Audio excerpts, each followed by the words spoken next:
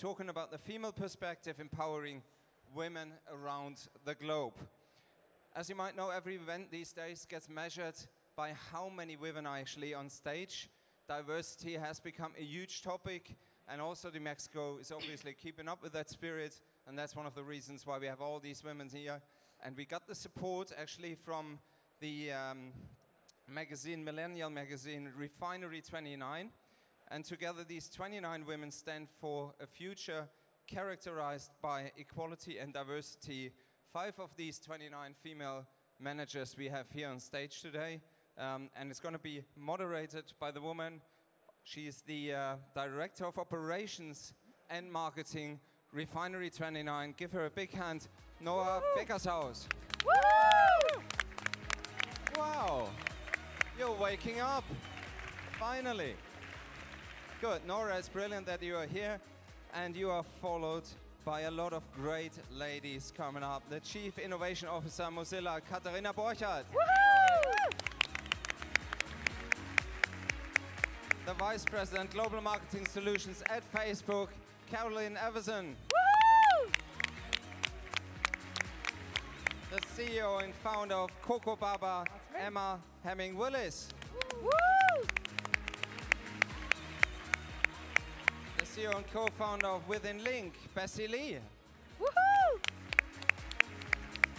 And the founder and CEO of the Girls Lounge, Shelly Zalis.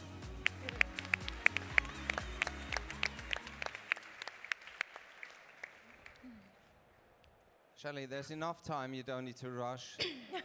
we are in time. All is prepared for you. Stage prepared for six great and smart women. Take it away, Nora. Hi, I'm Nora. I'm so thrilled to be here today and to be sitting here with all of you, which actually gives me the greatest job in the world. Um, to partner up, you see it right there, for the 29 Global Trailblazers with DMEXCO and the Female Quotient has not only been an amazing project to highlight 29 outstanding women, but also it was personal for me because I'm a millennial woman. And along this way, interviewing all of you, I learned so much. And I actually think this is what we are looking for. We want people to grow and to inspire with true, authentic stories. That's what we do at Refinery 29 every day, and I'm glad that we are all sitting here to do this together. So let's get right into it. I want to start with Shelly. Um, who actually uh, mentored me today to do, to do the, the moderation. She is just giving me a little crash course. And um, I couldn't be more thrilled to share uh, what Shelly has shared with me. So Shelly has not only founded the Female Quotient and the Girls Lounge, but she also um, is known as the chief troublemaker. Shelly, let us know why people refer to you like that and which rules you have broken. Well, I, first of all, I just want to say congratulations to you because, you know, I think what we all have to do is be brave and be bold and be fearless and be courageous. And for you, moderating a panel on a main stage as a millennial is incredibly impressive, and it starts by starting. It starts by taking that first step forward, and then you get comfortable there, and then you take the next one, and you get comfortable. And I think that's why I've been called the chief troublemaker my whole career. I've been a CEO of very successful companies, but it was breaking the rules and reimagining them. Because if we keep following all the rules that actually make no sense, and with gender equality, we keep talking about the problems instead of activating solutions for change. If we keep doing the same things, we will continue to go backwards. And I think that's really what's happening. So I think you can't rewrite the rules if you don't get rid of the junk in the trunk and really reimagine the workplace rules today for today's modern workforce. And so I, I think it's just a, a great name, giving yourself permission. Katharine Hepburn says, if you don't break any rules, you don't have any fun. So let's have some fun. Let's make a little trouble. Let's get a little messy. And let's take that giant step forward. Yeah, and let's own it, like you told me. Bessie, you own uh, the whole, you're one of the most accomplished people in the Chinese media and advertising landscape, and it's been a real pleasure to interview you because what I've learned from you was so bold, and it really changed how I looked at things. So please share with the audience what you told me. Um, yeah, I think the quote that I said, where I said, fight for what you think is right, a bitch, you bet. I think it's the bitch comments that got a lot of attention. Um, at least in my part of the world, I grew up in Taiwan and I worked in Taiwan for 12 years with WPP, and I, I moved to China about uh, 15 years ago. So I've been working in China for the last 15 years. So in our part of the world, um, when we grow up, we were always told by our parents and our grandparents and the society that women are supposed to be, girls are supposed to be polite. You're not supposed to be aggressive and ambitious, and you always should be gentle and mild and don't behave like a man. So when we're ready to face the real world, we, we tend to shy away from opportunities we believe is right for us because we don't believe that you know being aggressive and fight for what you should should fight for yourself is the right behavior. And because we, we tend to do that, and a lot of opportunities actually then pass us get passed on to the next guy in the line. So I, I myself suffered that in the early years of my career.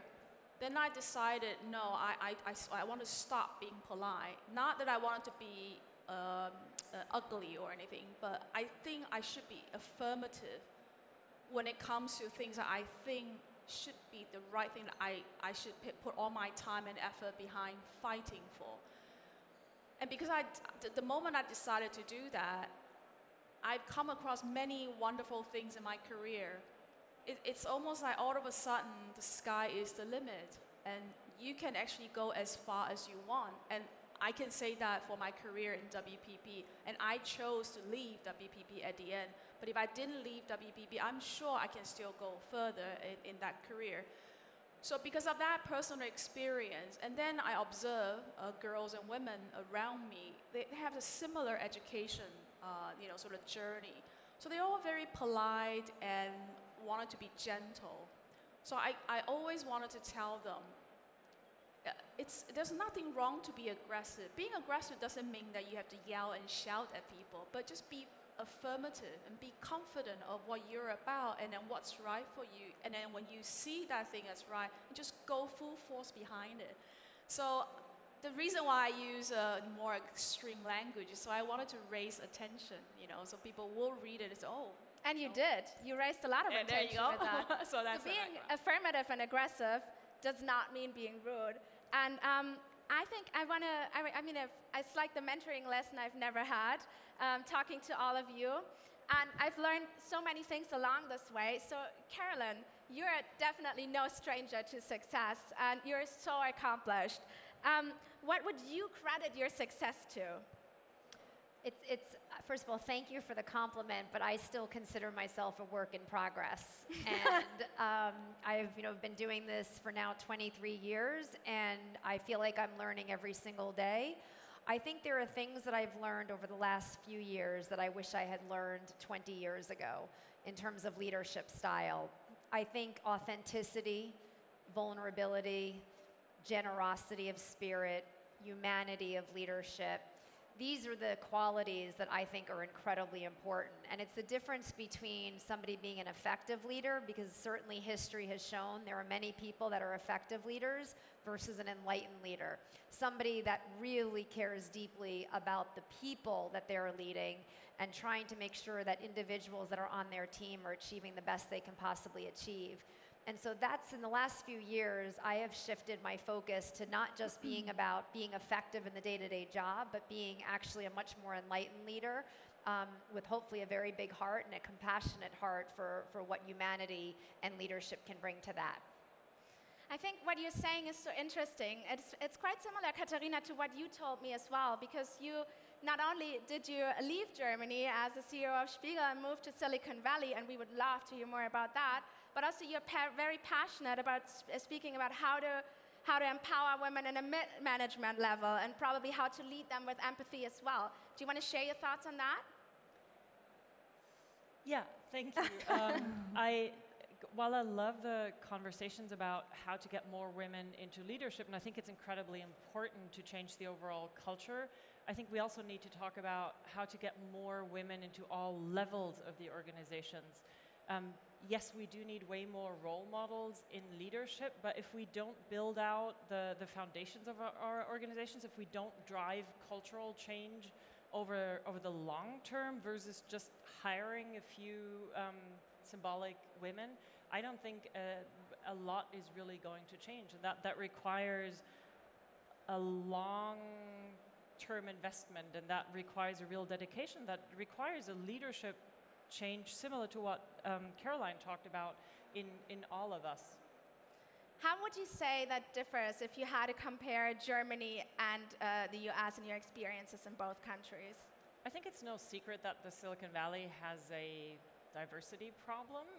That's become super apparent over the last couple of months. And um, the thing that, that frustrates me a little bit is that right now, a lot of European media is pointing the finger at Silicon Valley and saying, oh, this is also awful. And my response to that will be you might want to check in front of your own door because, in, like, at least from my personal experience, things aren't any better in Germany. They might not, or in Europe, they might just not have become so public.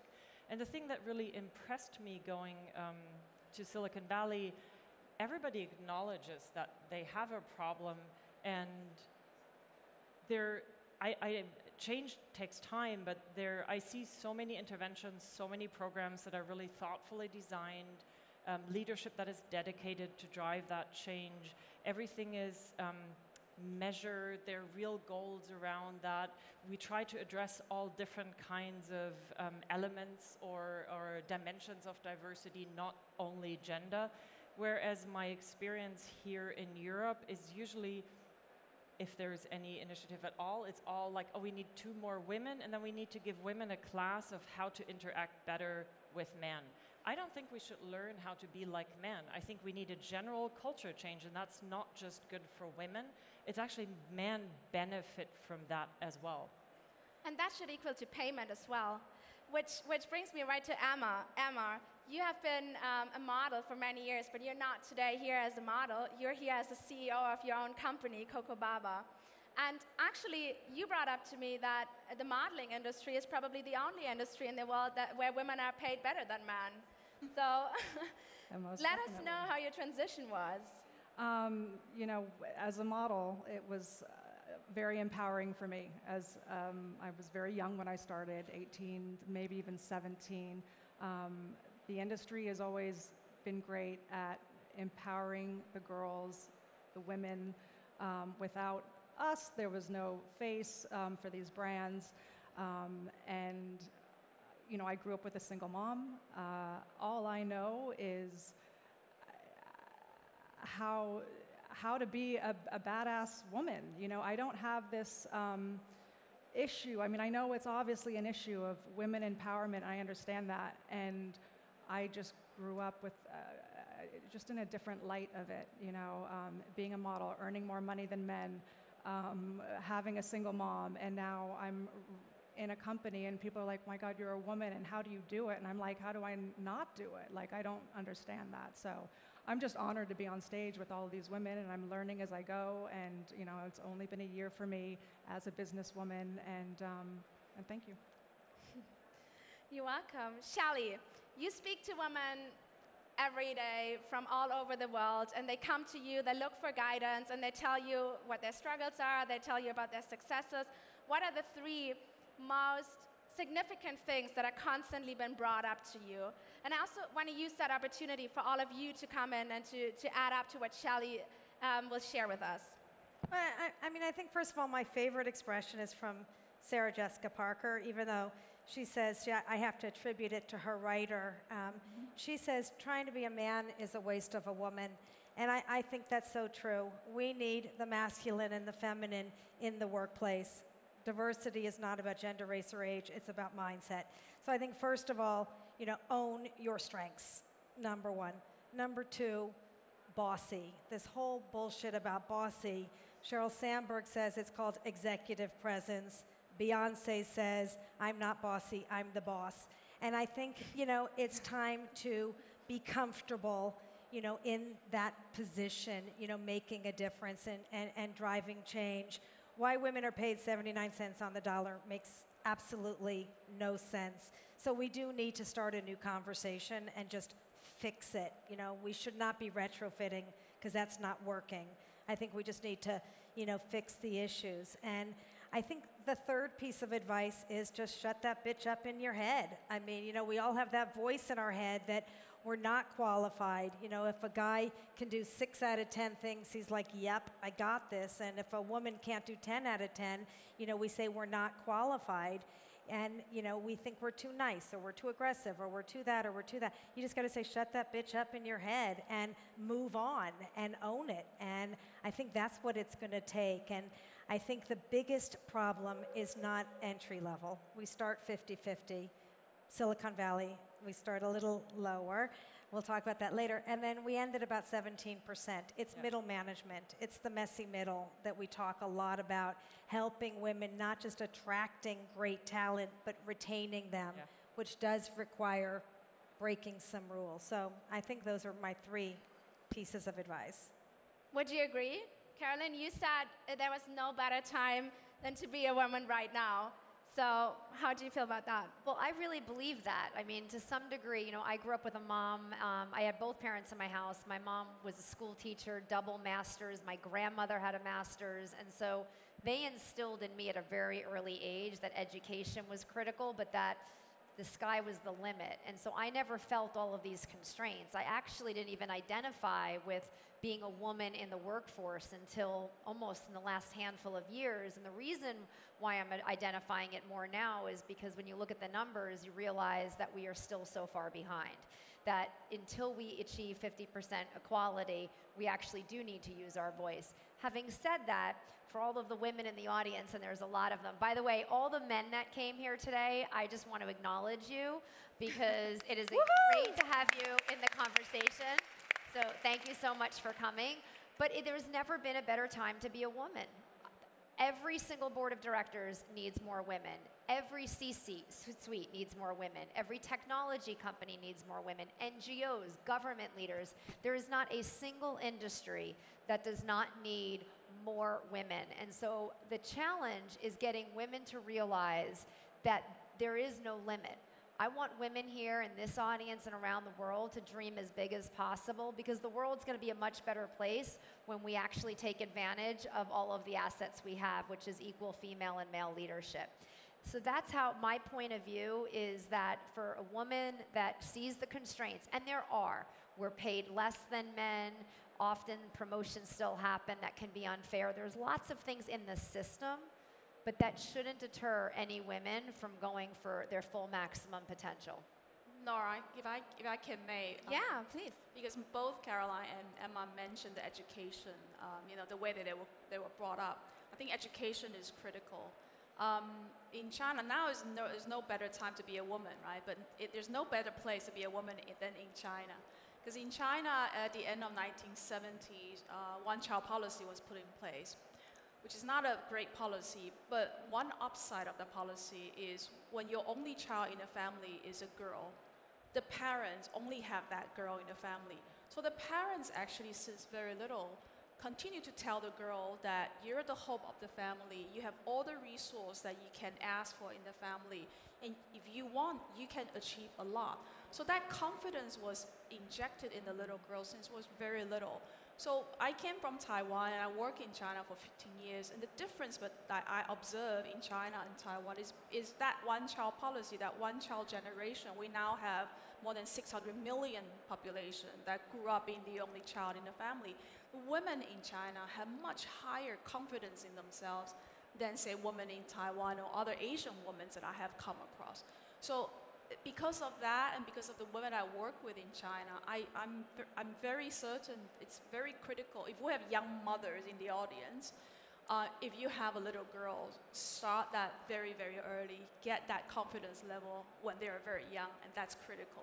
But I think diversity, just to Carolyn's point too, is good for business. McKinsey published that report that if, when we do reach gender parity, we have the opportunity to add over $28 trillion to the global GDP by 2025. Mm-hmm. But according to McKinsey, if we keep going down this pace, it'll take 118 years. So I think education is very important, but also seeing that if we truly want to drive hmm. business and that it's good, we need to, to fix it, you know? To, be, to build on Shelly's point, though, even if people don't morally think things should be gender equality and diversity of mindset. So even if somebody just can't think that way and they're just focusing on the numbers in business, you would still do all of these things. You would have a diverse slate approach. You would look for hiring a more diverse workforce. You would train for unconscious bias. Just if, if you only cared about the business, let alone the moral imperative of doing the right thing. I wanted to pick up on something else you said, Shelly, um, that really resonated with me because I see so many women that like only apply for jobs, only take the opportunity when they're actually at a point where they're massively overqualified for that. And that is probably the biggest thing I experience every time. And my, my only really good advice is jump at opportunities, do the things that you're scared of. I know that like success and successful women always look totally unattainable, but I'm scared shitless of so many things. When I made the switch to Silicon Valley, I didn't sleep for weeks. It, I was so scared of that. Yeah. But I've also learned over time that when I do the things that scare me most, I end up having most fun, and I certainly end up learning most, and my life becomes most interesting. And all of us are scared of stuff, and hmm. y- you have to just do it. And that always feels like the biggest thing to overcome. And try to visualize what you're afraid of. What does your worst nightmare and your failure look like? So what? Then it happens. You fail. You make terrible mistakes in business. All of us here on this stage have made horrible mistakes, and we continue making mistakes. That's how you learn. It doesn't matter. You get up the next morning, you might not sleep well at night, but you get up the next morning and then you do it again, and that's how you grow, and that's how amazing stuff happens. That's what we tell to our kids, right? Yeah. When they make mistake, when they Yeah. fail, it's, it's okay, get up and then move on. Yeah. Our, one of our favorite posters at Facebook is What would you do if you weren't afraid? Yeah. And so when I'm coaching people or we're sitting down trying to decide a strategy, like in my head, I'm thinking, what would I do if I wasn't afraid about a particular move? What would somebody do if they weren't afraid about making a job change or going for the promotion? But that is a, if you could just keep that question in your head, you will often find you will do things because um, when you work against fear. So I think that it's one thing to overcome your own fears and to, to face those challenges, but at the same time, you need people who help you, who empower you, who are there along the way to guide you. So Emma, did you have a mentor um, that helped you into, uh, into your success? I mean, for me, it's always been my mother. Like I said, she was a single mom. She held down three jobs. I don't know how she did it. I mean, um, I've always looked for her for advice. She's always been my backbone in so much. Um, and yeah, I mean, my mom's one of the strongest women I know. Do you guys want to share which mentors you had who helped you go along the way? I have many mentors during my whole career, but I wanted to make a different point. I think a lot of men need mentors on how to work with strong women. I have come across so many men that don't know how to work with strong women.